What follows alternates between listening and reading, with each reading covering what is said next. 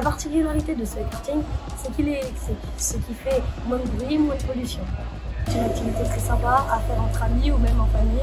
Pour les virages, on doit freiner, mais sur les lignes droites, ça fait toujours plaisir de pouvoir appuyer à fond sur l'accélérateur. Mais je me serais pris pour Verstappen, mais pour Hamilton.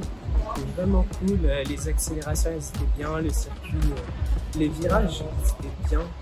En plus, euh, je pense que quand il y a plus de monde, ça doit être vraiment parfait.